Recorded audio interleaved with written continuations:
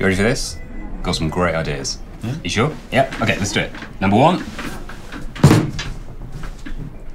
Yeah. Given up caffeine. Given up smoking. Given up junk food. It's like a whole series. Giving up on you? You like this one? Oh wow. Shaitan. No. No. Fine. All right. Okay. This is the one for me. Shaving foam. Definitely not. Yeah. All right. Fine. Fine. Fine. Fine.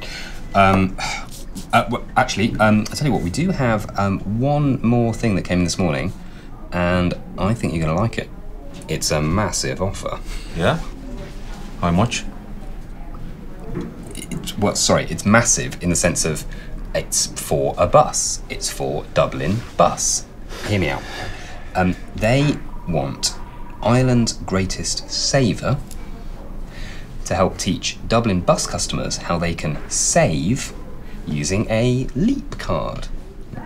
And what's a leap card? Um, oh, I'm sorry. Yes, it's um, I do know this. It's oh yes, it's a card, uh, obviously, um, that can help you save at least twenty percent on all your Dublin bus journeys. So, Andy, come on, we need this. What do you reckon? What if they do anything stupid, will they? No. no.